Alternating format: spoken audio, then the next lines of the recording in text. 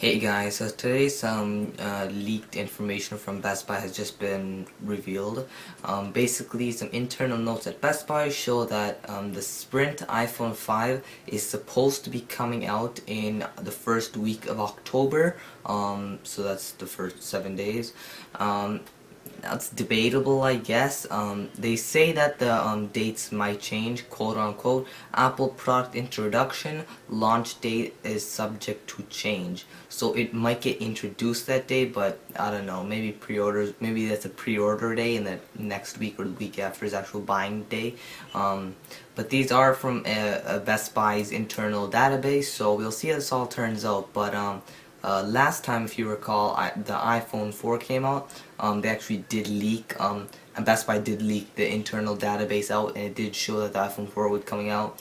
Um, so I guess previously, um, uh, Best Buy's internal database seemed pretty accurate to some degree.